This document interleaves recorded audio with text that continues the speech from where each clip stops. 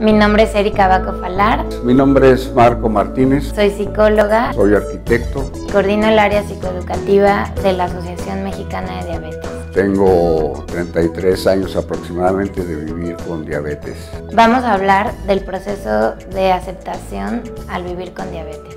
El diagnóstico siempre es muy difícil de asimilar. Y en este proceso se viven diferentes emociones, así como cambian los niveles de glucosa, cambian las emociones. Es común en todos los diabéticos que de inicio tengamos una reacción de furia, de enojo, sobre todo negación. Es muy natural que una persona cuando es recién diagnosticada pueda alejarse eh, y aislarse. Se incluyó también un factor de vergüenza dentro de esta aceptación del diagnóstico, el proceso de aceptación del mismo.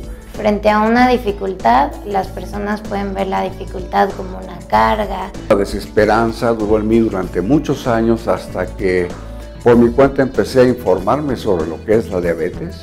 Vivir con diabetes es un reto, es una oportunidad y es toda una ventaja para cuidarse más.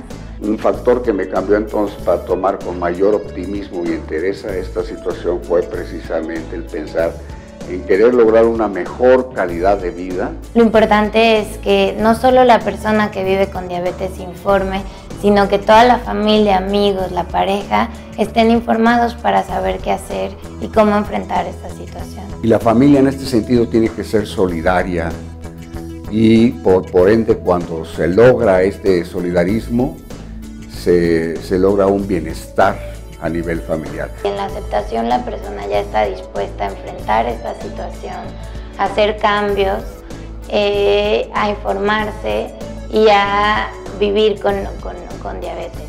Es un proceso que no es fácil, que lleva su tiempo, pero es posible. El proceso de adaptación es donde ya acepté la enfermedad y además de estar aceptada, lo adapto, me adapto en mi vida diaria. Informarse es lo mejor que un diabético puede tener. Aquí se trata de concientizarse sobre lo que es la enfermedad y lo que representa el no poderse cuidar. En la Asociación Mexicana de Diabetes consideramos que una persona puede vivir saludablemente con diabetes, eh, asumiendo nuevos retos, nuevos objetivos, eh, nuevos planes para, para su vida.